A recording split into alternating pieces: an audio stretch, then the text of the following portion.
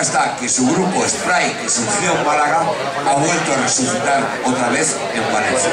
Con todos vosotros, Spray.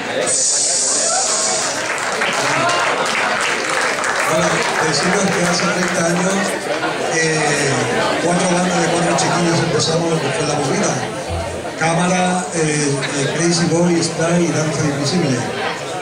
Y bueno, hoy somos 30 años, éramos críos, ahora somos un poco más mayores, solo un poco.